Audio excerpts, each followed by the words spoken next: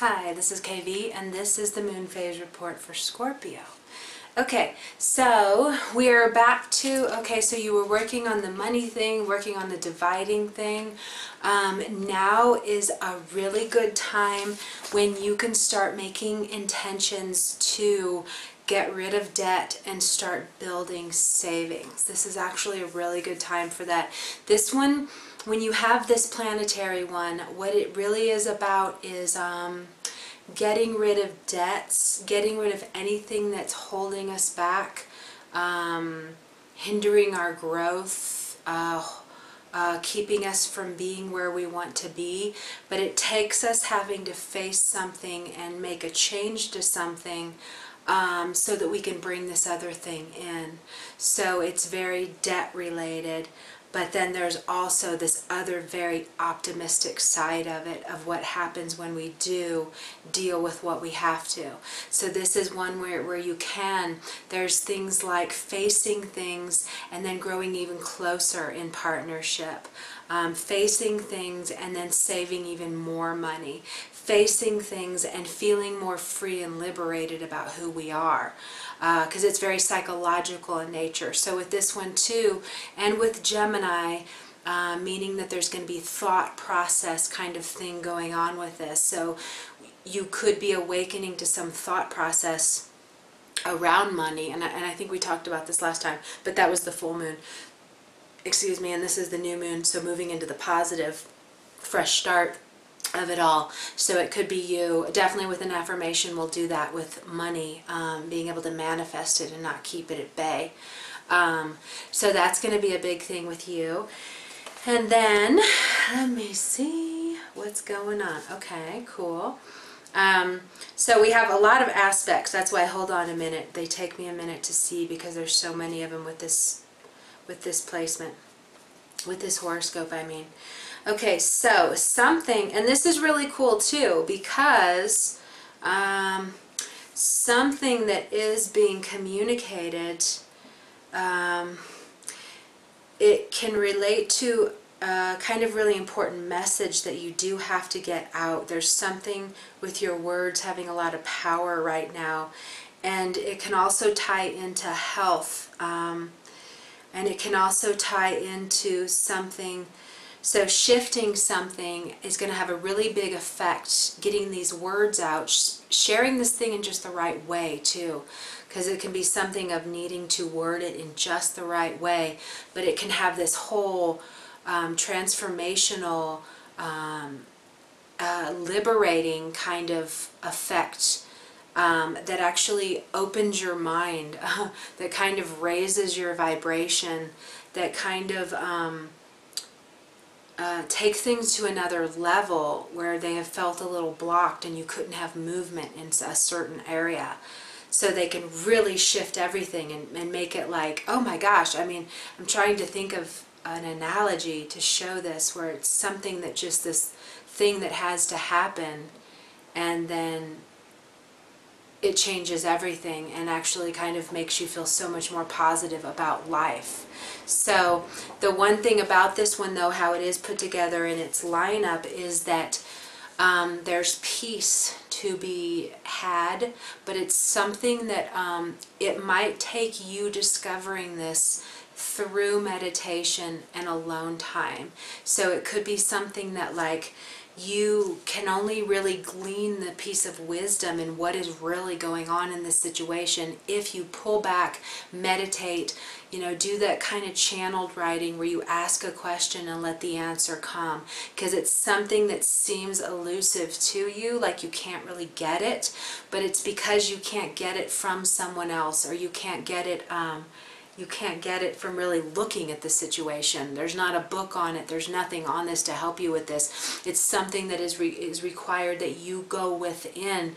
And, you know, it's funny too because the only other way it can come, it can come through you, through meditation, through your guides speaking to you, but also through something that's maybe like talking to a psychic related. Like they could be the ones who could maybe pick up on what this thing is because whatever this thing is is it's like the information for it isn't really out there and obvious and you're gonna just open to a book and it's there um, which that could work sometimes, but it's not. It's just kind of something that takes going to a silent mind, asking for guidance, and not thinking at all about what is needing you want this guidance. You know, not trying to figure it out on your own, but working with spirit to kind of bring this piece of wisdom to you and to your awareness. So be aware of that. Um, there's also um, your business is going to continue, whatever you're working on creatively is going to continue to grow and expand and go far off places.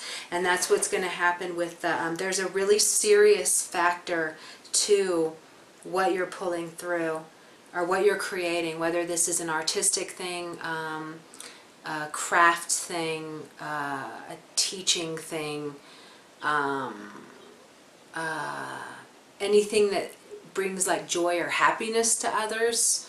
Um, whatever you're doing with this, you're going to be much more uh, serious about it. And because of that, and because Neptune now is going retrograde, um, it's going to be something that is going to be a big part of your life for a while. But how it's kind of lined up now is it's kind of really ready to uh, shoot out there and do something like publishing, internet, spreading a message far and wide. So it's something that is ready to kind of, you know, get out there and share with the world. And then it'll be something where like everyone's like, I want it, I want it, I want it, I want it. So whatever you are working on, they're for sure all going to want right now.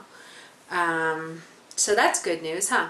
And then what's really cool too, you know, with Jupiter, because Jupiter is going to be going into Cancer on the 26th. Um, and that's going to be when, and Mercury is going to be going retrograde on that same day, but that's going to be moving into that house of really bringing you opportunities to move, um, to get your stuff out there in the biggest way possible you know, to have like opportunities coming left and right where everybody wants to promote you or share you or get you out there. So there's a lot of that. There's a lot of, there will be lots of messages of like traveling, of like, you know, moving to another country, um, being around people from other walks of life. So that's going to be something that you're entering into and that'll be like with your, that, the creative things that you're working on right now. So that's really cool. So um, you're going to come up with a lot of new awesome ideas too, especially when Neptune's retrograde. He actually went, she, she went retrograde um, a couple days ago, and I kind of forgot to talk about that. It's one that feels so at home with me because it's a I'm a Pisces, but um, it's just really going to have us um, connecting and then too when Jupiter goes into Cancer I mean it's just going to have us more connecting to our spiritual natures wanting to be more compassionate with people wanting to hear them out more wanting to have understand peace with others. Uh, for you and where it's at it's going to be bringing through more spiritually inspired creative artistic ideas um, having a baby um, um, um, doing anything teaching related and doing it in just a way that's so like poetic and creative so they like really get you, you know? So that could be another thing that's coming. So, um, did we do, let's do new moon affirmations and then we'll call it a day. So, I am growing closer in my partnership.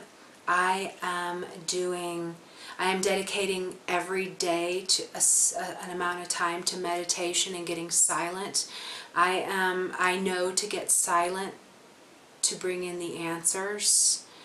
Um, I am working on healing any communication things I've been saying that are keeping money away.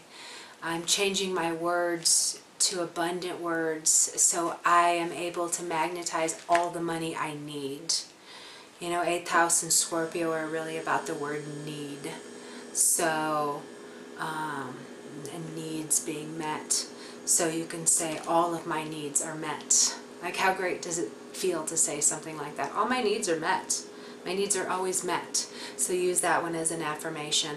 Um, this one will be anything you need to communicate in a better way to bring about peace and understanding.